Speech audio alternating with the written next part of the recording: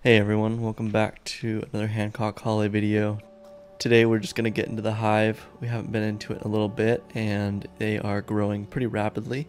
So I just want to keep a better eye on them as last time I didn't, they swarmed. So just going to get my suit out and get the smoker ready.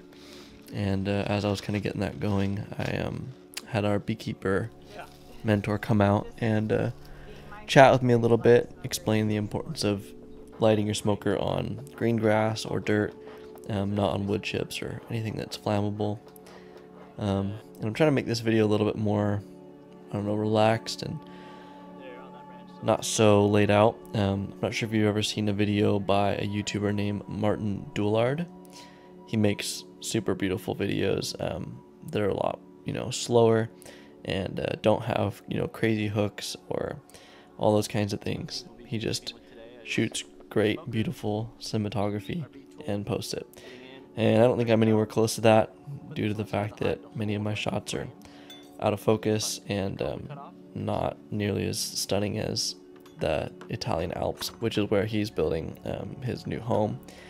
But, anyways, I'm just trying to make this a little bit more chill, talk about the things that we're going to be using in the hive today, and uh, go get into it when I, I walked over there, noticed um, our little green anole gecko was still hanging around. Don't really know if they eat bees or not, but if they're hanging around the hive, then there must be pests or bees that they're trying to get.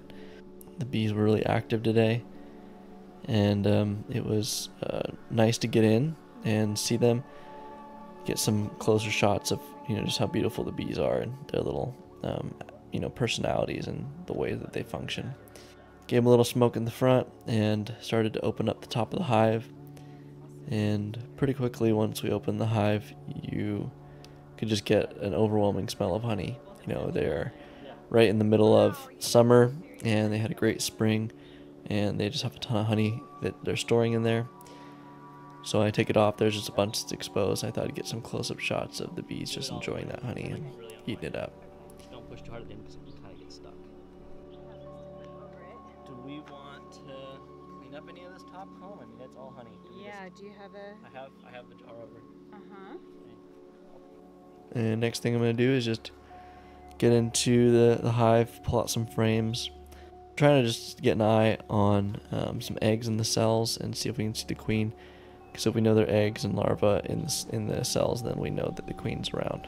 Um, this entire visit we didn't really get a good eye on her, but we did take the oil trap and change it out. And then after that, we uh, looked at this frame, and if you look really close, you can see a bunch of little white specks down in there. Those are the um, little eggs, little baby bees. So we got what we're looking for, and uh, we're just gonna close it up, and we'll check on it again in another week or two. Thanks for watching. Bye.